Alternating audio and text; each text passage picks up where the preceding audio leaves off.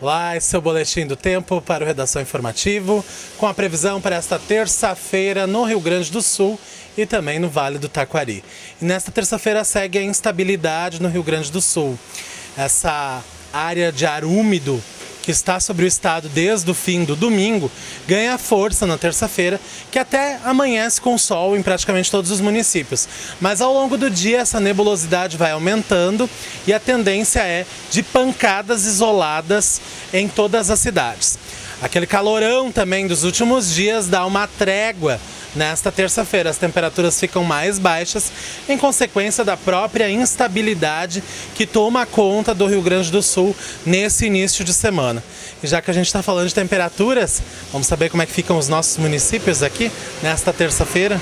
Em Lajeado, o dia amanhece com sol, mas a chuva vem até o fim do dia. A mínima prevista é de 22 graus e a máxima chega aos 29 graus nesta terça-feira em Lajeado. Em Estrela, o dia também começa com sol mas a nebulosidade vai aumentando e pode chover a qualquer hora do dia. A mínima é de 20 graus e a máxima alcança os 27 graus em Estrela nesta terça-feira. Este foi então o Boletim do Tempo para o Redação Informativo. Nós retornamos na próxima edição do programa. Fique com a gente.